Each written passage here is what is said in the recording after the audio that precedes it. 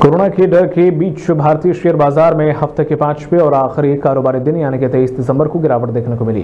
बाज़ार में लगातार चौथे दिन यह गिरावट आई है। सेंसेक्स 980 अंक टूटकर उनसठ के स्तर पर बंद हुआ है। निफ्टी 320 अंक गिरकर सत्रह हज़ार आठ सौ छः के स्तर पर बंद हुआ है और सेंसेक्स में 30 में से उनतीस शेयरों में गिरावट रही।